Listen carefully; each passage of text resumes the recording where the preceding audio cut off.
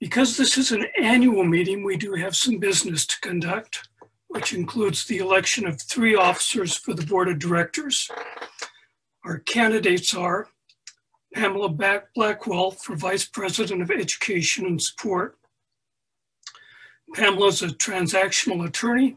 She's a NAMI Clackamas volunteer, a teacher, a facilitator, and a presenter.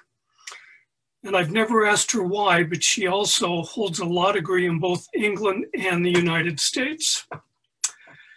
Nathan Trimpler is treasurer. He is a US Bank portfolio monitoring analyst. He graduated from Portland State with a degree in accounting. And Mary Clark for secretary.